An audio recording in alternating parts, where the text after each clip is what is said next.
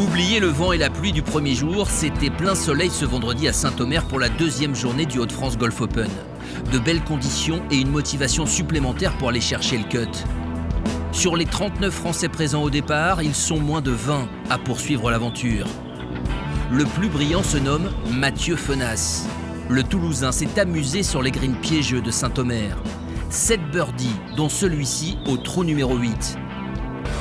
Et encore, l'addition aurait pu avoir meilleure allure sans cette virgule, au 7. Une carte à moins 6 ce vendredi qui vient contrebalancer son plus 3 d'hier. Le Français jouera un top 10 ce week-end et peut-être mieux. Ouais, très content aujourd'hui, euh, moins 6 franchement, euh, j'ai très bien joué et surtout j'ai très très bien poté, j'ai rentré des potes un peu de partout euh, au bout d'un moment, donc c'était assez, assez sympa.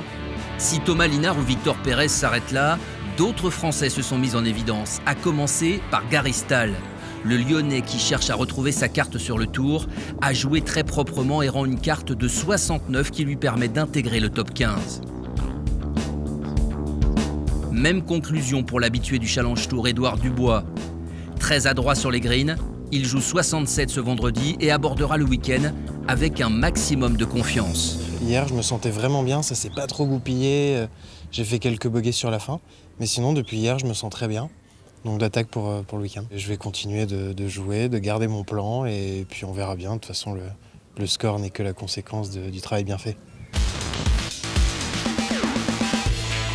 En haut du classement, le gallois Stuart Manley a rappelé à tous qu'il n'occupait pas la sixième place du classement provisoire du Challenge Tour par hasard. Deuxième journée sous le par et un total de moins 5.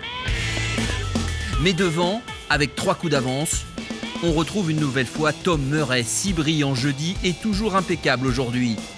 Sous la pluie ou sous le soleil, l'Anglais est décidément à l'aise sur le parcours vallonné de Saint-Omer.